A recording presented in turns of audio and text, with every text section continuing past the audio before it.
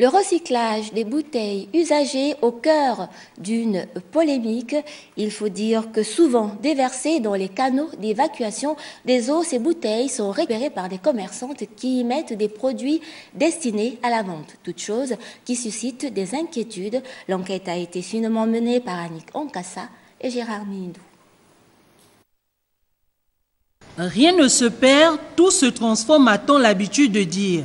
Pour ces déchets plastiques, ils reviennent en effet sur le marché, mais pour un usage, la commercialisation du arachide, de l'eau, du lait caillé destiné à la consommation.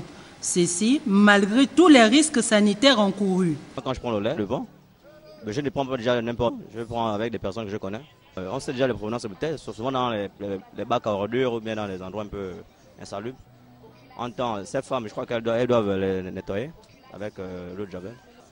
Lorsque j'achète ça hors de chez moi, tu vois que ça donne parfois l'écoulement, ça là, donc c'est pas fiable quoi.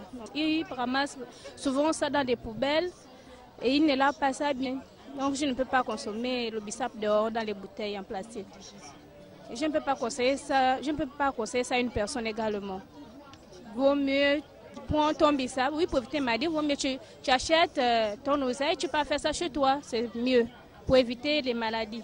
Pour comprendre la provenance de ces bouteilles plastiques qui obstruent ce canal d'évacuation d'eau usée et souvent à l'origine des inondations, ici au marché de Montbouet du côté de Petit Paris, cette commerçante explique. Les déchets là viennent de la pairie.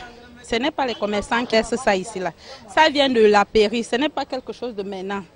Ça date de longtemps. Il fut un temps, les commerçants, les, habitants ont cotisé. Euh, on fait une cotisation et appeler des gars à venir enlever la saleté. Donc si on ne bloque pas, si on ne bloque pas au niveau de la pairie, ça serait toujours sale. Pour tenter de maîtriser les risques sanitaires probables sur les populations gabonaises dus à l'utilisation de ces bouteilles, nous nous sommes rendus au service de l'hygiène publique. Malheureusement, à notre passage, les portes n'ont pas pu s'ouvrir.